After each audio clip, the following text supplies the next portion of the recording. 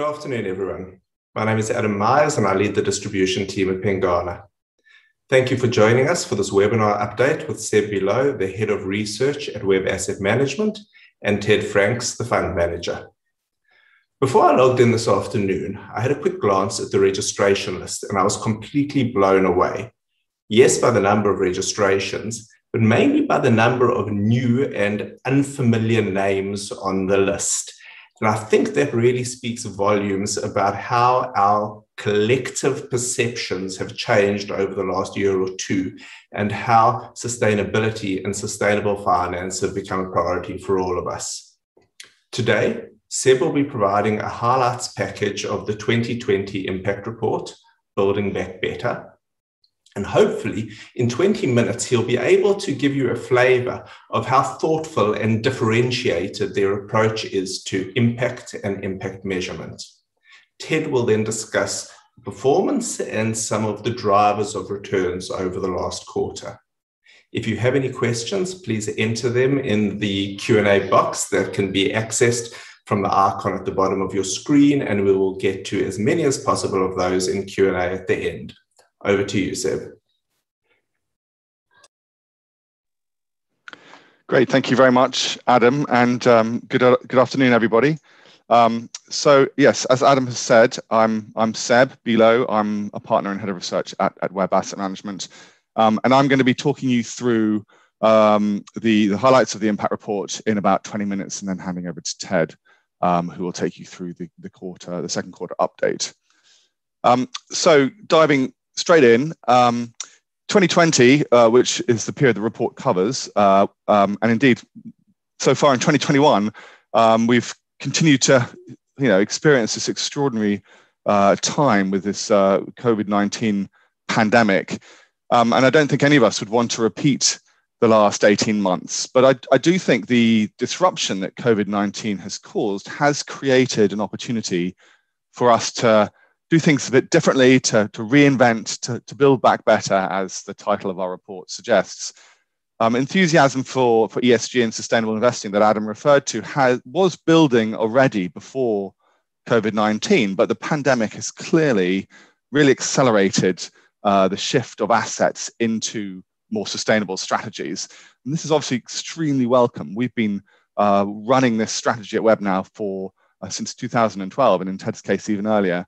Um, and this, this, this sort of uh, renaissance, if you like, in, in interest in sustainable investing is extremely welcome, but it's also making life a bit more complicated for people who are trying to select uh, sustainability strategies, um, particularly for people who want to invest in strategies that have real integrity and belief rather than just clever marketing spin.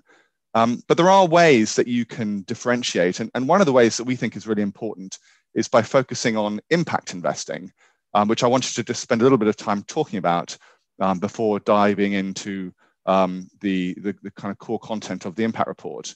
Um, impact investing, as some of you I'm sure know, is fundamentally different to other types of ESG integration because it's focused on the investor's beliefs. It's not something that's easily altered by changing the label of the fund. So what does the what does the fund, man- fund manager actually believe, and how is this evidenced in their investment process? On the slide here, we've got the original uh, definition from the Global Impact Investing Network, and I think you can see that it highlights the importance of uh, intentionality. What is the intention of the investment? And there are two important words there: intention, but also investment. And intention has to be, in our view, part of the investment decision. For WHEB, the explicit intention is to invest in companies that are providing solutions to critical sustainability challenges. And so you should expect to see evidence of that intention in the way that we create our investment universe, so the screens that we use at the start of the process. But I think more importantly, actually, you should see evidence in the stock selection process itself, and then, of course, in reporting and ownership activity. And ultimately, we believe there should be evidence that the impact story is also a significant part of the equity story. And if it isn't, then it's not really impact investment. So in our uh, report, we do introduce this model of what impact investing in listed equities means to us. Um, it is a bit, a bit complicated, so I just wanted to walk you through some of the key points. Um, So the first point is uh, that um, we are, as I said earlier, we are very focused on the impacts that are delivered by portfolio companies through the products and services that they sell in the real world. This process starts with our clients who want to invest in companies that are providing solutions to sustainability challenges. And then we channel that capital into a portfolio of companies, uh, each of which is selected because of the impact intensity of its products and services. So this is number one in the chart there. Um, each of the company delivers their products and services, which then have an, a positive impact on the world. And we call that enterprise impact because the impact isn't delivered by us, it's delivered by the companies that we invest in. And then, of course, we report, uh, we measure and report this positive impact back to you through our report that I'll be talking about in a second, our website, this webinar, um, and so on. But there's then a second set of impacts that are delivered directly by WHEB. And we call these investor contributions. And this is done through engagement with portfolio companies uh, to encourage them to focus on delivering more positive impact. And we call that the enterprise level investor contribution. That's 3A in the model. But we also deliver uh, what we've called system level impact. We work with regulators, we work with standard setters to help shape a financial system that supports and enables more positive impact. And we also work with our clients encouraging more impact investment as part of a larger movement that stretches beyond WHEB to embed sustainability more fully in finance and the wider economy. And we've called this system level investor contributions. That's 3B in the chart. So uh, uh, apologies for the complexity so early in my presentation, but this is a really important model for us and provides a bit of a blueprint for our work and for our reporting. Um, on which subject I will now turn to um, the uh, key messages from the report itself. Um, but before I do that, I did also want to mention some work that we've been doing over the past couple of years that underpins the integrity of the data that sits behind the report um, and the calculator. Last year, some of you may remember that we commissioned the Carbon Trust, which is an independent consulting firm that advises businesses and investors on carbon reduction strategies and we, commi we commissioned them to peer review the impact calculation methodology that we have developed that sits behind our report in the impact calculator. and we published uh, their letter in our methodology that uh, outlined their conclusion that they found the, the methodology to be robust. This year, we've actually worked with them again to go through the data itself. So yeah, last year it was the methodology. This year it was the data itself that we're reporting in our report and our calculator that covered 98 different data points from 35 different companies going through the completeness, the consistency, uh, the quality of the data sources, a whole range of different criteria um, that they looked at.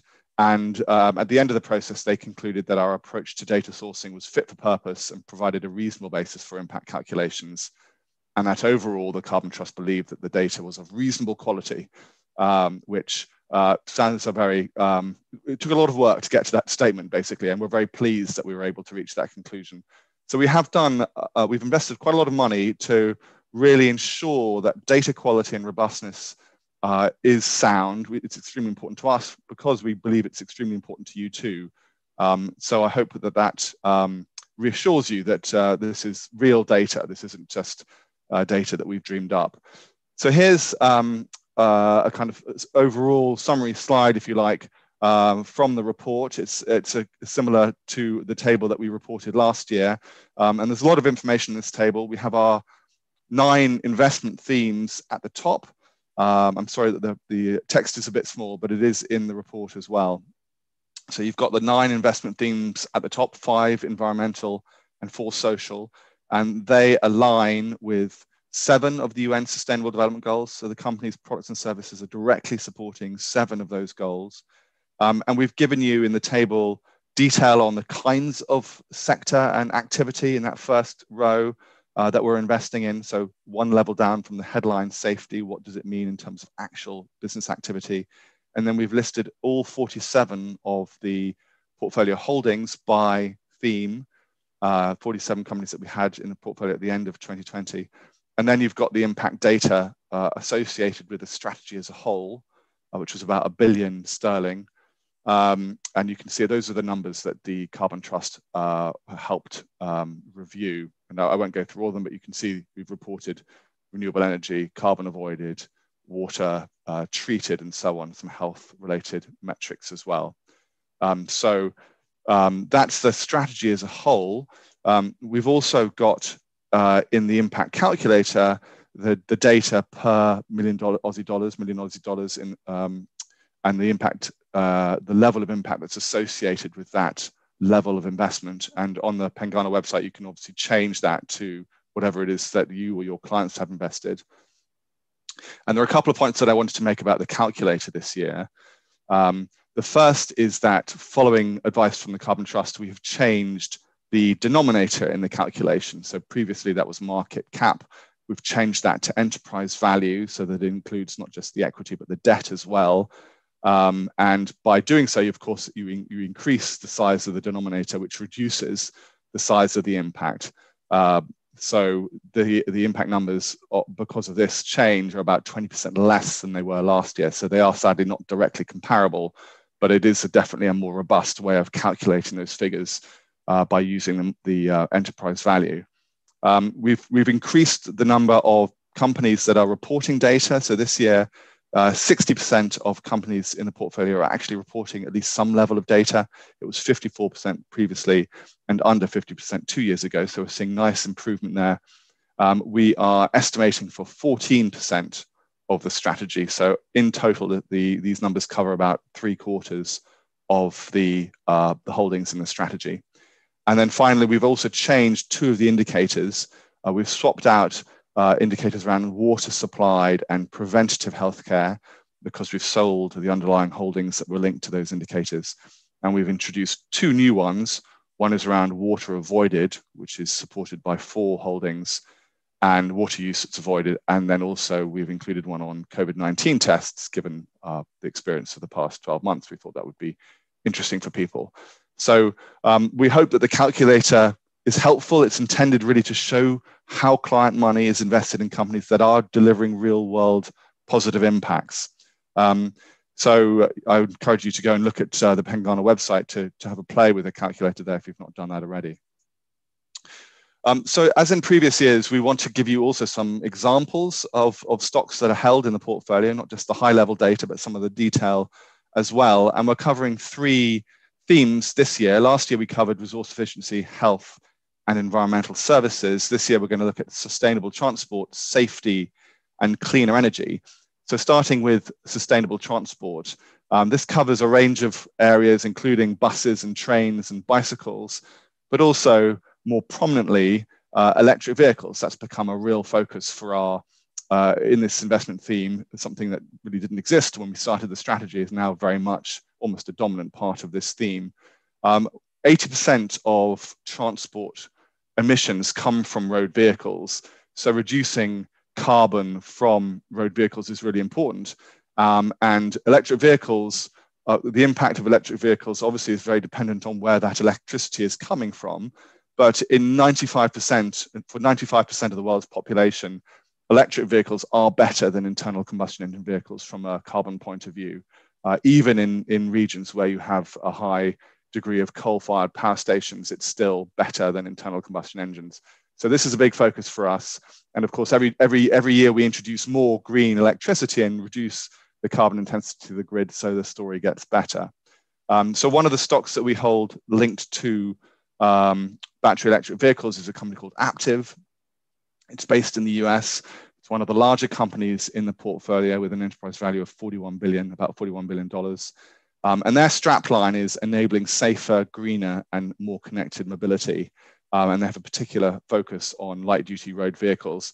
And their two largest businesses are uh, the first one is in essentially the management of electricity through the vehicle. Um, so in, in the picture, you can see some of the kinds of products that they're making, uh, the charger um, uh, components, uh, some of the components that go into um, um managing the electricity through the through the car, so the cabling, the connectors, the bus bars. Um, so that's one uh, business. The second business is focused on active safety. So they make the sensing technologies and components as well as the software that sit behind active safety systems like lane departure, like blind spot monitoring, and ultimately actually all the way up to autonomous driving as well. Um, so those are the two biggest businesses. It's linked with SDG 11, uh, sustainable transport systems fit in under sustainable cities and communities. Um, and then we also provide uh, a bit more detail about what we think about the business. So we have this little um, chart that shows you the impact intensity that we've given this company. That's, that's generated by our impact engine, which is part of our investment process, um, as well as the fundamental quality of the business, which includes an element that's focused on ESG quality as well. This is a very high scoring company. Uh, 52% is a, is a strong score on the impact engine and 74%.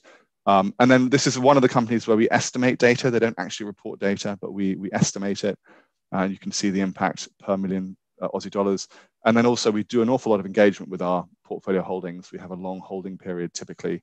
Um, and so with this company, we've, we've, we've, talked to them about a number of board, um, board level issues.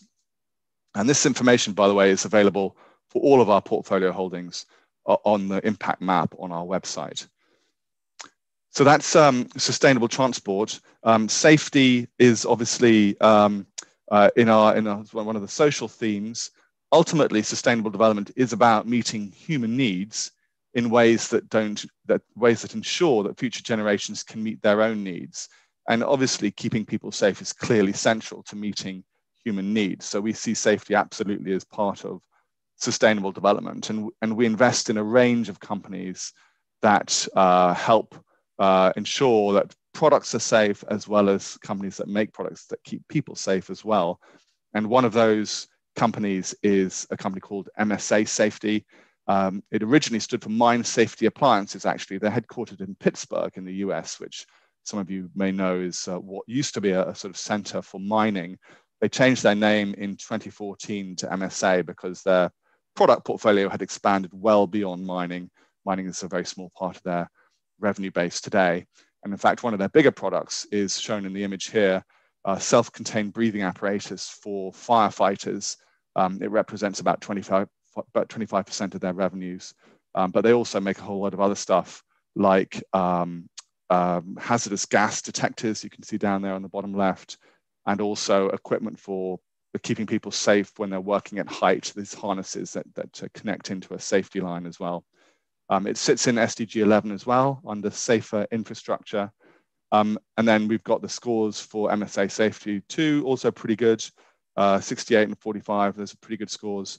Um, we don't report, this is one of the companies that's not currently included. They don't report a, um, a safety um, impact metric for, for their business. Um, although I think we can all agree that it is, it is consistent with our, with our themes. Um, and we have done a lot of engagement with them around board level issues and also toxic chemicals in their in some of their products. Um, so finally, uh, the third theme, cleaner energy, which probably doesn't need much introduction, is why it's a focus for us. Uh, obviously, low carbon electricity generation is critical to uh, addressing climate change, primarily because it's the cheapest way of decarbonizing. Um, it also supports other sectors like transport by enabling them to access uh, zero carbon electricity. And also, we believe it'll become a big beneficiary of the push around green hydrogen as well, which will in large part be produced through renewable technologies. Um, so we are very optimistic about the future for cleaner energy. We expect to see, some scenarios suggest that we'll see a, a, um, a quintupling of demand for green electricity out to 2050. Um, and the stock that we, we hold a number of stocks, but the one that I'm profiling today is a company called TPI Composites, which makes um, their main business is in making wind turbine blades um, an outsourced supplier of wind turbine blades. It's about 90% of their revenues. They do also have a small, relatively new business that's making um, uh, component, lightweight components that go into um, electric buses as well. Uh, SDG7 is where we've uh, positioned this, this uh, particular holding. It is a slightly lower quality company compared to the other two. They are an outsourced supplier of wind turbine blades, and so they are generally a price taker uh, in the market, but a very impactful stock. Uh, you can see the impact metrics there. And again, we've done a lot of disclosure with them around improving their sustainability reporting, setting a net zero carbon target, which they have now done. And uh, also on the, the subject of uh, ensuring that wind turbine blades are recyclable, which is not the case currently. So those are um, uh, uh just a quick uh, dip into some of the portfolio holdings that we that we have. Um, I did also want to talk about um, the ESG characteristics of the strategy, and there's obviously a lot more detail in the report itself, uh, so I can't cover all of them. But I did want to just highlight some aspects of the carbon footprint of the strategy. Um, there are lots of numbers here, but I know they are increasingly important to people. Um, and uh, I thought I'd just quickly walk you through um, the um, some of these numbers. So at the top there, you have the total emissions associated with the strategy, scope one, scope two emissions. Um, and those have increased since the end of 2019, mainly because the strategy has become much larger. Actually, it's, it's nearly doubled in size. So you, you might have expected those numbers to grow even more. Um, but um, so that's at the total emissions level. And then you have these other metrics that are normalized in the first case by the amount that's invested. So the carbon footprint, and that's come down quite significantly as we've shifted into lower carbon businesses over that period. The carbon intensity, quite confusingly, has gone up. Uh, we think that's mainly due to COVID and the impact on the sales, which is what that's focused on. Um, and then the weighted average carbon has come down as well, and that reflects, uh, again, the shift into lower carbon intensity companies. We do also report scope three emissions, which is the emissions, which is uh, yeah, emissions associated with the value chain and with the use of the product. Um, and that's gone up just because of changes in portfolio weights within the within the strategy. So a sort of a, a modest increase there. Ultimately, of course, all of these numbers be, need to be at or near zero by 2050. So that's kind of the most important thing. And uh, we would expect to see these numbers, uh, all of these numbers, uh, trend down over the next few years, hopefully. Um, the other aspect of uh, the strategy from a carbon point of view is uh, the proportion that I wanted to share with you today is the proportion of businesses in the strategy that have committed to go net zero carbon uh, by a certain uh, date. Um, and you can see over the last, this is only 18 months now this that we've collected this data over, and you can see there's been a significant improvement from basically nothing the end of 2019 to about just under a third of the portfolio with um, clear uh, net zero carbon targets. Um, we still obviously have a long way to go. Our, our own target is that by 2025, 50% of the portfolio should have set themselves net zero carbon targets. Um, given we're at nearly a third, uh, that should be doable. And then by 2030, 100% of the portfolio should be covered. Um, so that's what we are shooting for uh, in terms of uh, net zero carbon commitments for the portfolio. Um, and then the, the, final thing I wanted to touch on before um, handing over to Ted is uh, around our engagement and our voting. We, we do, as I, as I mentioned previously, we are we have about 47 stocks. We have six analysts now on our investment team. We have a lot of resource to ensure that we are very actively engaged with the, the companies that we hold. Here are some statistics about the voting that we do. We're very active. We, we, we vote against uh, nearly uh, well nearly every company in the portfolio gets at least one vote against them. Um, and then in terms of engagement as well, uh, we uh, we undertake engagement with uh, over three quarters of the portfolio every year. You can see the subjects that we're engaging on there, um, and then also by geography too. Um, again, more detail in the report, so I won't go into it in too much depth now. Uh, and then the final the final aspect that we measure is how successful we're being with our engagement. Um, and you can see that the, and we rate our engagement as being either successful, partially successful, or unsuccessful. And you can see that there has been a dramatic increase in the amount of successful and partially successful engagement over this time period, um, particularly recently. And I think we have to uh, acknowledge that um, while some of that is due to us, and explicitly so, we've got a little quote here from Intertek, uh, who set a net zero carbon target, you know, in, in significant part because we kept badgering them to do this. Um, but we also have to acknowledge that actually, because the whole or a, a, large part of the community now, the asset management community is now engaging around ESG issues. This is making the engagement that we have with companies more successful because everybody is now pushing in the same direction. So um, I hope that wasn't too much of a, a, a, sort of gallop through the, the headlines Uh, as I say, there's much more in the report itself and on, on the website. So please, if you're interested, do go and get more information there. Um, and then I will hand over to, uh, to Ted, who will take us through the uh, second quarter results. Thanks. Great. Uh, thank you, Seb. Um, and thanks everyone for tuning in. I will start to share. Okay. Um, everyone can see that, hopefully. I'll assume someone will pop up and tell me if they can't. So I'm uh, Ted Franks, partner and the fund manager here uh, at WHEB. I'm very glad I didn't realize Adam said lots of new people on board. So that's uh, really good. Very pleased to meet you for the first time. What I'm going to do now is run through um, the quarterly update. Uh, we've done this every quarter since the uh, lockdown, you know, one of the, the, beneficial side effects prompt us to get into webinars in the first quarter of 2020.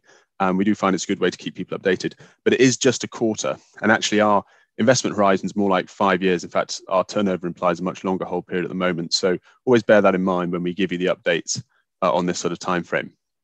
Now, the first slide actually um, isn't about the strategy itself. We try not to be uh, too self-referential in where we have a um, around Christmas time we tend to provide a bit more information about how the business is going. But I thought it was worth just highlighting now that this investment team, I think, as Seb kind of touched on, um, for a long time until this year, it was four of us: Seb, T, Ben, and I. Ben, the most recent joiner in 2015. We've added uh, Claire, who joined in January, and Victoria's come on just at the start of July. Um, they're both brilliant analysts and really committed to impact. we're delighted with them both. Um, I think it's just also worth highlighting. I think as you get an impression from what Seb's been talking about, uh, part of the importance of this is that we've always wanted to have an integrated approach, integrating and thinking deeply about impact by the same individuals and the same team that's doing the investment decision making. And that does require um, a decent amount of resource. I think we would say that in terms of the size of the decision making unit, it can't really be that much bigger than six, but it's got to six now. And we now feel really excited about the kind of work we're going to be able to do with these companies. And a lot of that, as Seb's just been mentioning, uh, relates to engaging with them and really becoming a much more active owners of capital. And for those of you that don't know, this is a single strategy that WHEB runs. It's uh, in Aussie dollars now, I think it's like two and a half billion, of which the Australian sleeve you guys are in is about 200 million Aussie. Um, so it's it's getting to the scale where we can be really influential for our companies, which is really important for us. Okay, so uh, with enough said on that, and obviously happy to take questions, I'll go on to uh, what happened in the uh, second quarter. So the first part of this is kind of a, a, macro observation of a key investment topic before I go on to a bit more detail of some of the sort of uh, detailed thematic performance. And really the second quarter of 2021 from an investment point of view is all about inflation. It had been a key, it's been a key topic for really over a year now as people have been thinking about it, having been subdued for so long, the prospect of rising inflation, potentially rising interest rates, making a huge difference to how people think about assets. And you can see the chart on the left hand side, both the expectations and the actual numbers uh, starting to tick up um, uh, sometime uh, last year, and obviously getting to uh, continue that trend in the in the second quarter. And now we're obviously seeing some you know, quite interesting data points. US inflation running at 5.4% here in the UK. We're at 2.5%, numbers we haven't seen for a long time.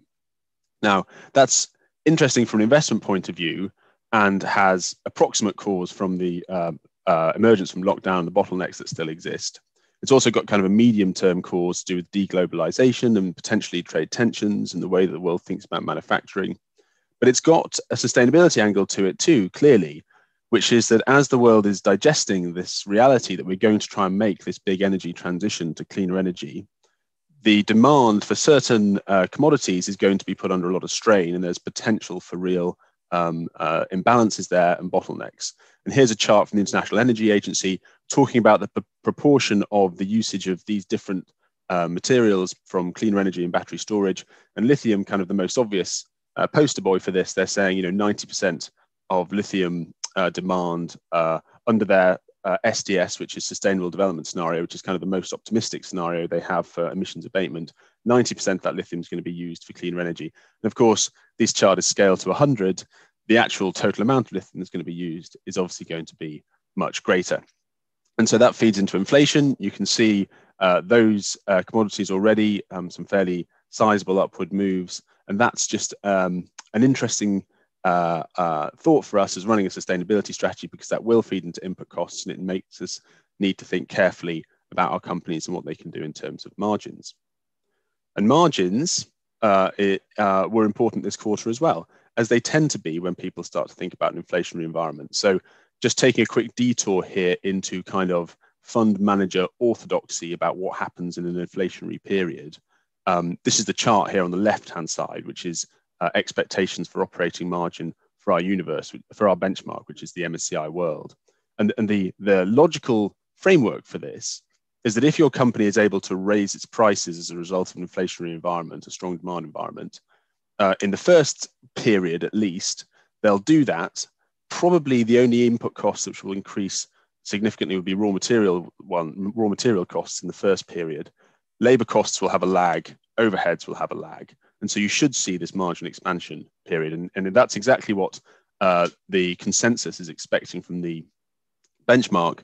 And what that meant in the first quarter is companies that could demonstrate that they were able to capture some of this margin upside were rewarded. Um, and we've got examples here on the right hand side of five of our companies which performed well in the quarter. And you know, an approximate reason for that being that their margins in the first quarter of this year were much better than the margins in the first quarter of next year. They, so they got a tick in the box from the market's point of view. Those that didn't get a tick in the box include two Japanese names we own, uh, both beginning with the letters DIA, so Daifuku and Daikin. Um, so both of these companies uh, came out with guidance, uh, three-year guidance, which is one of the hallmarks of Japanese companies. Not everything they do communication-wise is perfect, but this is always quite handy. Uh, and particularly if you look at the top part of this slide, you can see those margin expansion targets, 110 basis points and 90 basis points. In a quarter in which people were very interested and fixated on margins as a result of inflation, this was not received well, and these companies uh, struggled a bit. Uh, a couple more points to make about this. First of all, you can see in the bottom half of this slide, those new three year targets were more completely integrated with environmental aims than we've seen from these companies before. And although it's now becoming relatively commonplace, which we're delighted with, um, this strategy actually has a, a you know more than 15 year history, and certainly in the sort of more than a decade that I've been involved with it, uh, we've never seen this level of integration of environmental targets with financial targets, and obviously we're very supportive of that, and it's great. Now, the other point about that, these two stocks, and I don't want to give them a pass on this, but the reason why we still like them and are long-term investors in them is that if you look at the green bars on this slide versus the uh, which are the achieved margins versus the blue bar, which is what they laid out in previous plans, um, Daikin didn't manage it in the recent cycle because of lockdown. We give them credit for that. Otherwise, they do tend to lowball this guidance. And you know, we're not saying that we have crystal ball. That'll definitely be the case this time, but certainly we think the response in this quarter was was unwarranted. Okay, so I will now uh, pivot away from inflation, which was the big kind of macro uh, investment view of the quarter as we saw it, onto a different way of talking about our performance, which is kind of the more standard way we like to do it. And if I'm conscious that there are new people on, on board, I'll try and sort of maybe take this ever so ever so slightly slower. So our strategy at what we call the top level has nine themes, and we've always talked about our attribution in the context of those nine themes. It's not perfect because the themes aren't entirely heterogeneous and um, homogeneous inside them. So not all the stocks inside each theme will move for the same reasons. But it does give us enough of a framework um, and hopefully helps you guys to understand what we're doing. Now, in this quarter, which was an underperformance quarter, not a, a huge one, but a, sm- a, smallish one, we're going to focus on some of the reasons for that underperformance. So I'll talk in a moment about the education theme, cleaner energy, and the thematic selection effect. And I'll talk at the end a little bit about some of the positive news uh, out of the well-being theme as well. Okay, so starting with the education theme. Now, education is not a big theme for us. It's two positions. And so to have a big negative contribution, they, you can understand they didn't do well at all, these companies. Both of these companies are providers of for-profit uh, higher education in the US. We like them from an impact point of view because the cohorts that they serve are very needy. They tend to be uh, uh, uh less advantaged communities individuals trying to advance their careers, make better lives themselves, and also cope with some of the shifting changes in employment patterns um, as technology changes. And so we think they're very impactful stocks. They are not uncontroversial, though. We're open, our eyes are open to this because there are uh, significant movements in the US, particularly in the Democratic Party, that see any for profit education as inherently bad. And there's good reasons for that because some of the bad actors in the for profit education sector have been very bad and have high, high levels of student uh, debt default and not very good outcomes. companies we invest in, Grand Canyon Education and Strategic Education, we've chosen them because they have these good outcomes. And they are definitely seen as the high quality operators. But getting to the point about this quarter, with the new Democratic administration in place since the start of the year, they are now returning to the education sphere to see if they're going to change the regulations. They're doing something right now, which is called the negotiated rulemaking process. It happened on via Zoom, as you can see in the picture. And there are some prominent um, uh, characters, uh, Dick Durbin, a senator from Illinois, very notable, who do have a real, um, have these companies in their crosshairs. As I say, we think they're very impactful. We certainly like a lot of the innovative things they've been doing about um, improving invest, uh, um, student outcomes. Um, and actually, we see them as real value opportunities at the moment, but the sentiment is, uh, is tricky there. Then on to cleaner energy. And cleaner energy had uh, an enormous run up in 2020 as the net zero carbon commitments were being made, and also as uh, the world was still, um, the investment world was still moving to a sort of a low, a long, long-term low interest rate environment. Quite naturally, as inflation has come back into the equation, some of that um, valuation uh, benefit those companies experienced has has uh, drifted away a little bit effectively the market's digesting what is the investment opportunity in terms of cleaner energy. We're pretty clear what it is. It's pretty uh, dramatic, but of course it has to be played and invested, we think, in the right way. And one of the areas that we haven't really been able to be comfortable with is investing in the companies that, that uh, do the development of the cleaner energy projects for the reason that we see a lot of capital going into that sector, bringing returns down. And indeed, in the second quarter, um, Equinor and Ørsted both of them uh, Scandinavian former oil and gas operating. Equinor still has a large oil and gas operation. Ørsted's moved on from it, its operations in that sector. They both said that they're going to see um, reduced cost of capital and reduced uh, internal rates of returns on their um, projects going forward because of all this capital that's coming in to invest in this space. We instead invest in the equipment providers who these companies would be buying the equipment from to make the projects. And we think the prospects for those companies is, is rosier, but certainly this cast a bit of a negative sentiment across the sector.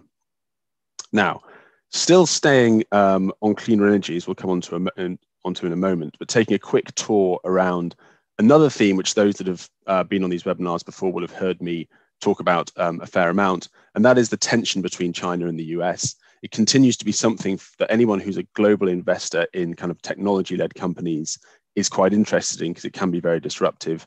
We saw more in the second quarter of how the Biden administration is going about this, and they obviously have a much more um, meth- um, methodical way than the previous administration, although interestingly, the sentiment is kind of exactly the same. The thing that looks like the moon on the right hand side is an infographic uh, depicting the US Innovation and Competition Act, which passed you know, with bipartisan support um, uh, in this quarter as well, you can really look at that as a kind of American response to Chinese technological threats. It's, it's an allocation of money to various uh, key areas. And as a sidebar to that, returning to my point about cleaner energy, um, uh, although not involved in an act per se, there are now movements afoot to look carefully at uh, cleaner energy, in particular China's dominance of the um, silicon uh, photovoltaic value chain. Now, this has been a huge success for the world in terms of emissions reduction because China has um, you know, continually brought the cost of that technology down. But they have done so, effectively, well, not effectively, genuinely, by unfairly subsidizing their companies and allowing practices to flourish which wouldn't be allowed in other markets. Most notably and most troublesome is the fact that a lot of the silica that they produce in Xinjiang seems to have been done so under forced labor conditions. And this resulted in this quarter in a withhold and release order from the US Department of Homeland Security saying we won't accept silica-based products from certain of these companies that seem to been used forced labor. Now, that in itself gave one of the companies that we invested in a, uh, a change in their prospects. The company we've invested in the quarter is called First Solar. It's a US manufacturer of solar, solar panels. It uses a different technology called thin film technology instead. We've been wanting to invest in solar for a long time because it's so impactful. It's traditionally been quite hard to invest in because of that cost curve coming down we think there's an opportunity now for First Solar, which has excellent ESG credentials, a differentiated technology, um, and particularly if the world is recognizing the cost that comes with Chinese PV, then I think that's really potentially interesting opportunity. So we've invested in them. Okay, so getting to the end, sorry, it's been quite a sort of long uh, presentation so far. Just refreshing again here on the thematic attribution. So now I'm going to talk about thematic selection effect, and you see we have it in a different color category from the other themes. The thematic selection effect is the attribution to um, all of the stocks in our benchmark, which are outside our universe, which is a lot of them because there's only 15% overlap. So it's effectively telling us whether investing in sustainability as we see it, our universe opportunity set, has been a headwind or a tailwind in the quarter. You can see here it's been another big headwind for us. And I just want to put that into a little bit of context. We took the 12 month periods that the strategy's been run that we've had access to. We've got 38 of these or something, and we ranked them. And the single strongest negative thematic selection effect over a 12 month period is the one that we've just had. And the second worst is the one the last quarter.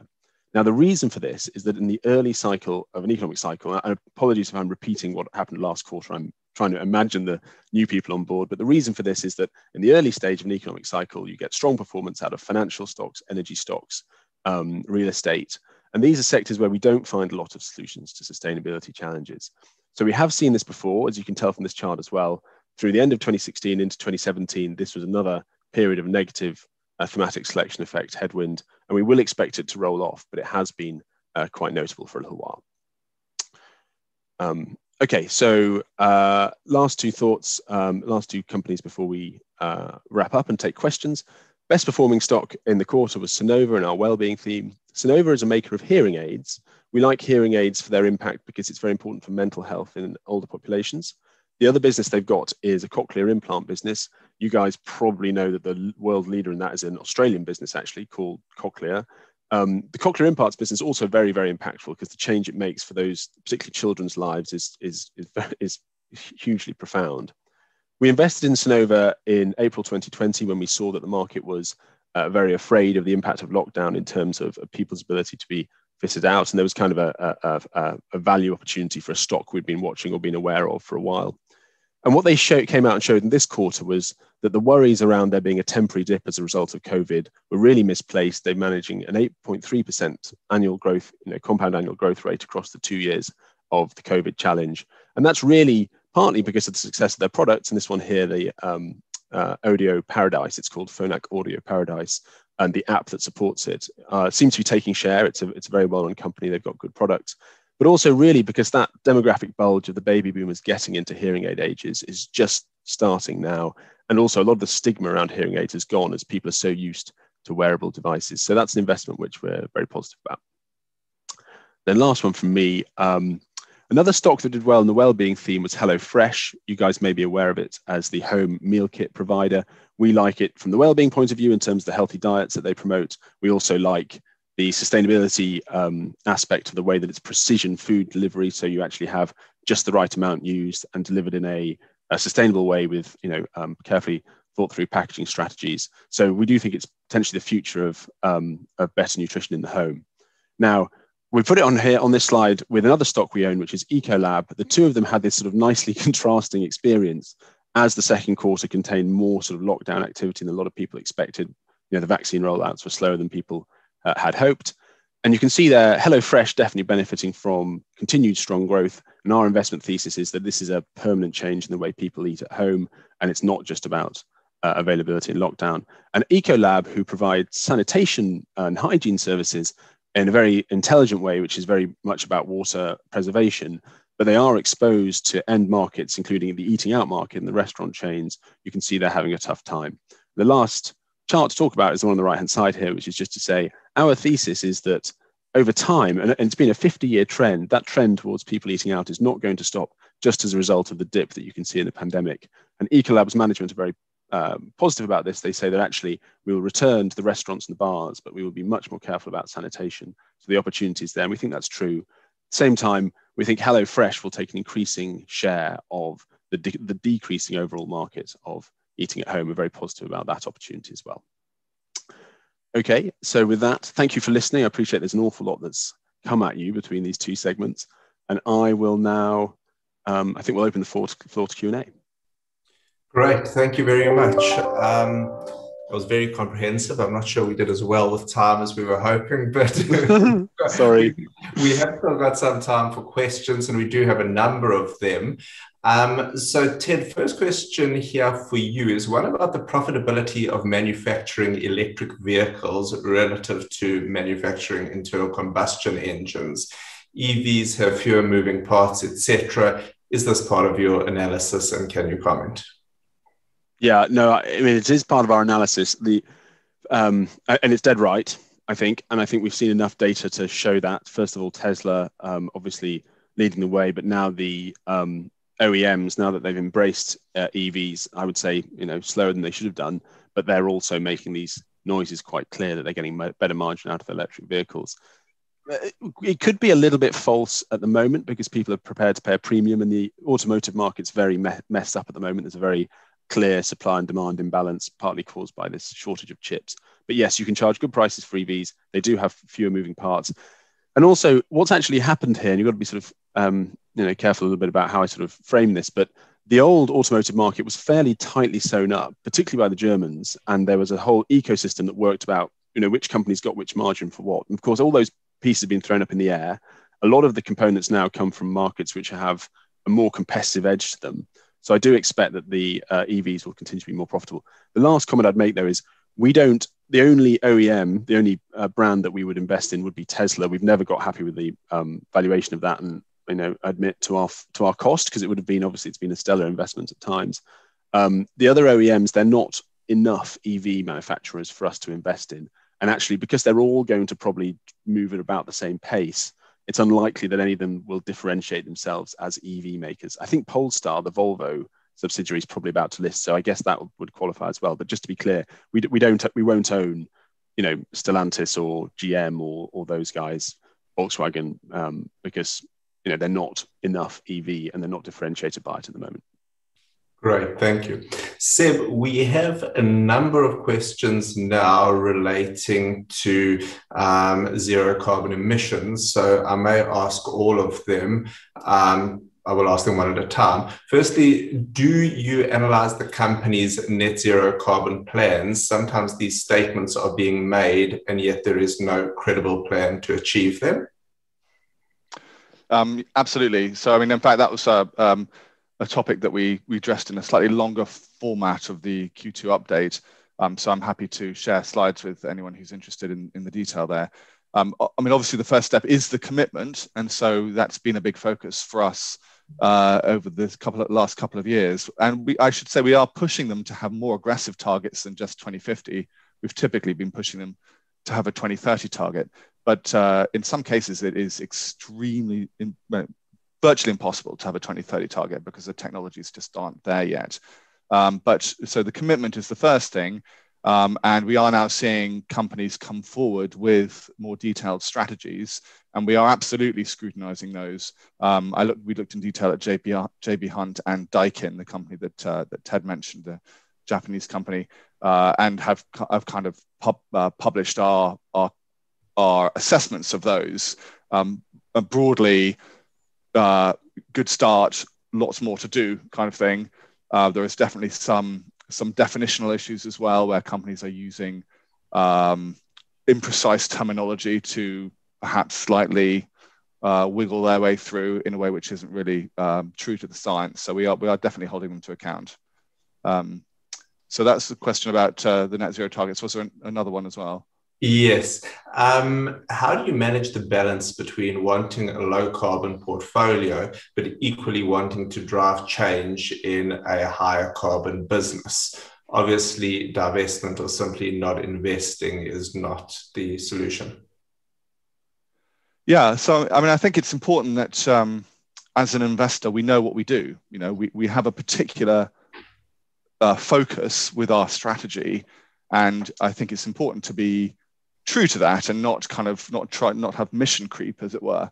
Um, you know and our focus is is very explicitly on investing in companies providing solutions. That's that is what this is all about our strategy.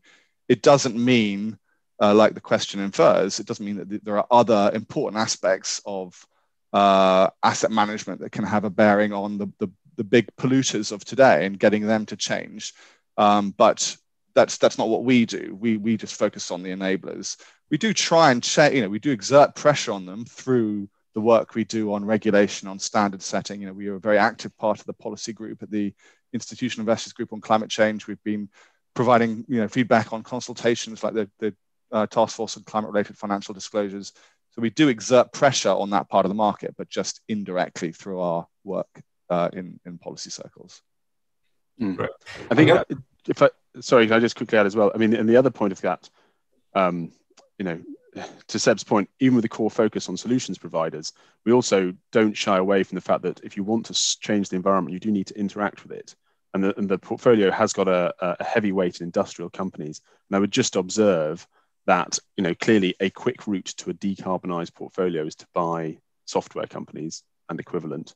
And we're not, um, you know, we're not afraid of the fact that actually we need to, we need to do some engagement with our companies because they do have footprints by definition because they're the ones solving the challenge. Great. I'm going to ask one more on this theme and then I'm going to move on because I'm sure there are people who, who are less interested. Um, this is from a person who's obviously involved in the industry and he's seeing a shift from the use of 2050 to um, people referencing 2035 and also dropping the term net um, if we're really going to have an impact on temperature rises. What are your thoughts on bringing some of these targets for the fund and investments forward significantly?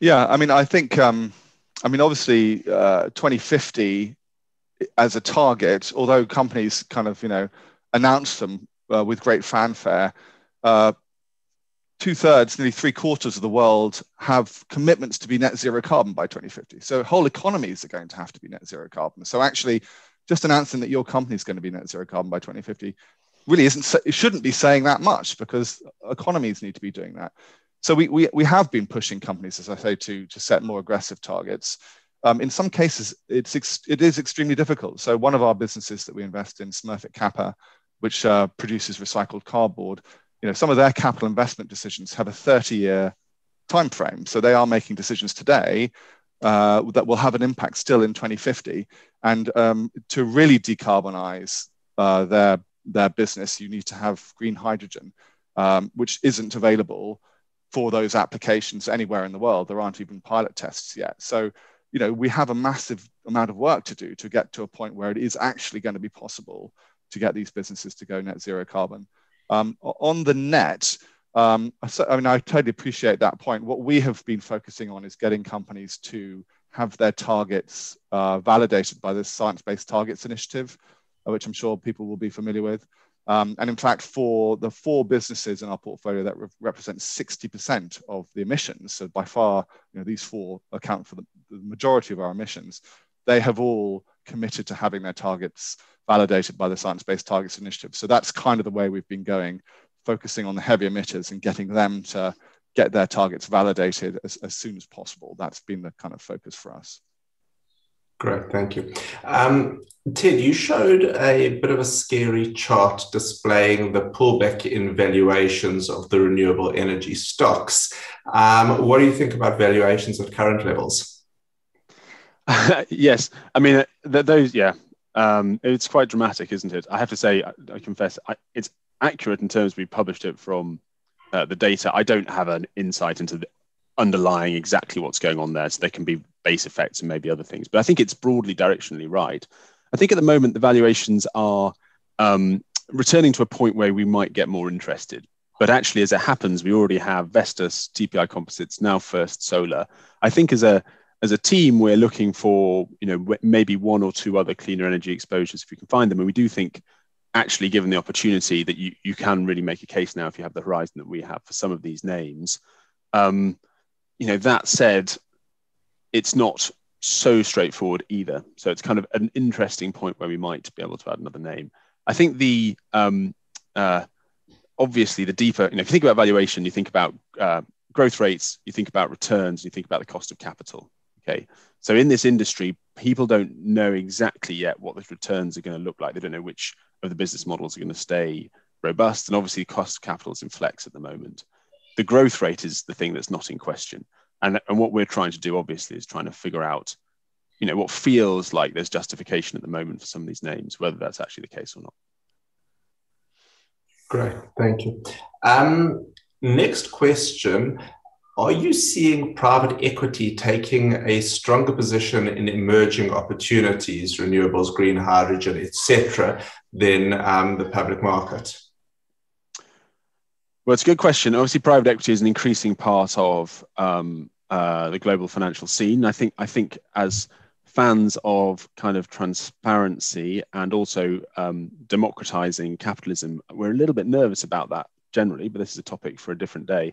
I would have said yes, that this is where uh, the capital is coming from, and certainly a lot of it is. I guess the squiggle on that is that there's been an awful lot of uh, public market issuance in form of, form of IPOs, and particularly the special purpose acquisition vehicles, acquisition companies that had a big flurry at the start of this year and the end of last year. And a lot of those names, interestingly, were in the impactful space.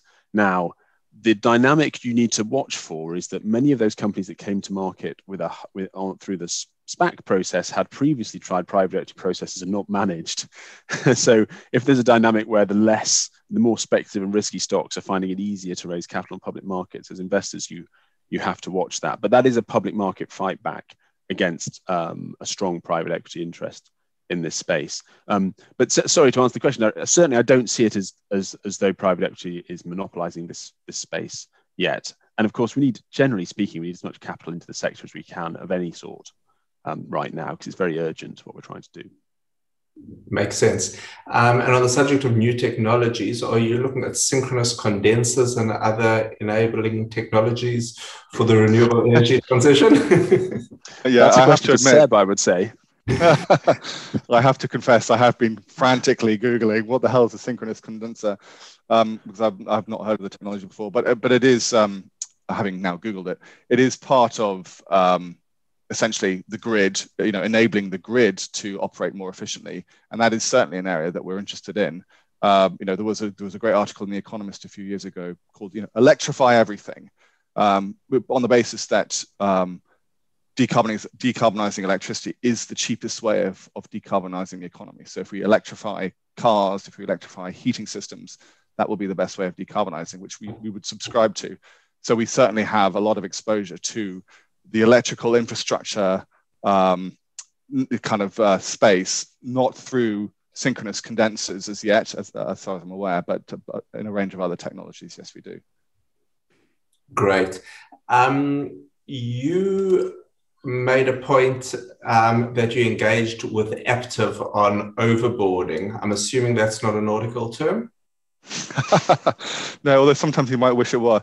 No, the um, it's uh, where you have uh, directors who sit on, in our view, too many boards. Uh, you, you do get some directors who sit on, you know, seven or eight boards, and in our view, you're not able to give adequate attention to our board if you have uh, seven or eight commitments. So um, yeah, we vote against. I think it's four. If you're a chairman, that counts as two as well. So it's, sometimes it's a bit complicated, but uh, yeah, that that's something that does crop up occasionally. Great, thank you. I think in the interest of time, I'm quickly going to answer one last question myself. Um, the the fund is unhedged. Um, from a currency perspective. But other than that, we are going to wind it up now. Um, there are a few questions that we didn't get to, but in the interests of time, we will respond to, to those directly. I don't want people to, to, stay, to, to stay on this call for too long. Um, please take a look at our impact microsite, impact.pengana.com. I think that you'll find um, the impact calculator and a lot of the other tools very interesting to look at. Thank you very much for joining us this evening. And if you have any other questions, please get in touch. We'd love to hear from you. Thanks and have a good evening.